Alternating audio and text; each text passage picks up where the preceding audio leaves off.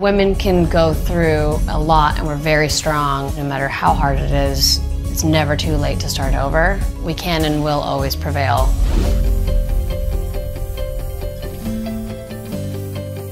Oh, it's it's fun to be bad. I also just like to throw around the word misunderstood. In this particular film, he is the bad guy.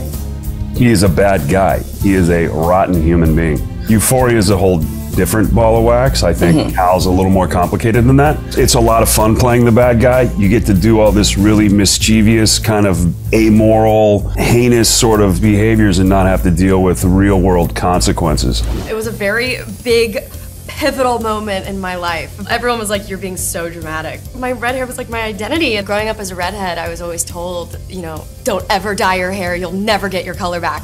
Growing up, I always wanted to, but my mom mom's mm-hmm. also a redhead, so she was like, No, do not do it. Oh, blonde me.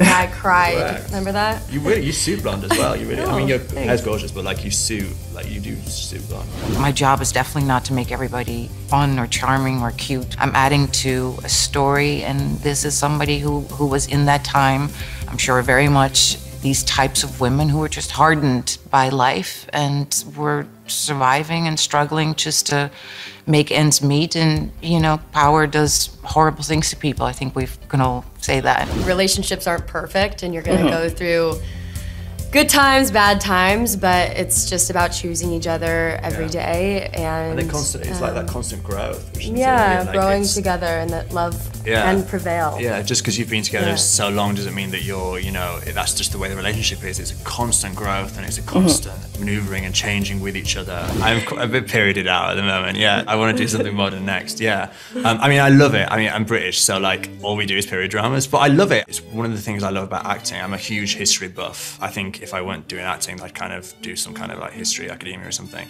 I love putting myself into a world and finding about the period and the time and all the research that goes into that. That's kind of um, my bread and butter. It's what I, I love to do.